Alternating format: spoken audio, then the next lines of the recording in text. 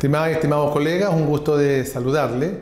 Quiero conversar sobre la deuda histórica. Sabemos que este es un tema que es para nosotros es fundamental desde siempre, son 41 años de espera por parte de las profesoras y profesores para que se cumpla y se haga justicia, por cierto, con esta reparación tan importante, tan necesaria. Hemos venido haciendo todo un trabajo el año pasado, también este, tenemos una mesa de trabajo que este día miércoles próximo se va a reunir y nos parece importante reiterar que está absolutamente claro que diciembre tiene que ser el mes en el cual se envíe por parte del Ejecutivo un proyecto de ley al Congreso para esta reparación. Eso es lo que hemos señalado, en esa directriz hemos estado trabajando todo este año, por supuesto que continuaremos en esa misma dirección está planteado en el programa de gobierno del presidente de la República, también lo dio a conocer el propio presidente en lo que fue su discurso al, país, en la cuenta pública.